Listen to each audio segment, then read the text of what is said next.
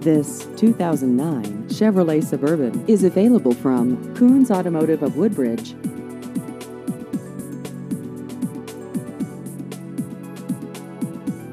This vehicle has just over 102,000 miles.